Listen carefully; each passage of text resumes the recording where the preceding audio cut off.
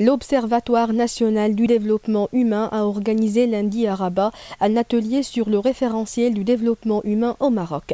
L'objectif de cet atelier est de lancer un processus de concertation pour alimenter un large débat public et mener une réflexion sur les concepts du développement humain et ses référentiels.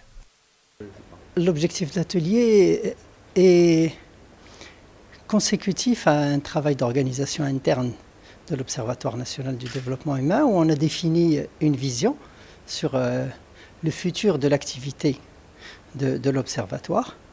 Pour résumer, je dois dire que l'idée pour nous, c'est de, soutenir le développement humain par un travail d'observation sur le terrain, observation de la réalité vécue par, euh, le pays et observation des politiques euh, conduites par l'État et par les différents acteurs de, la société marocaine pour améliorer euh, ce vécu.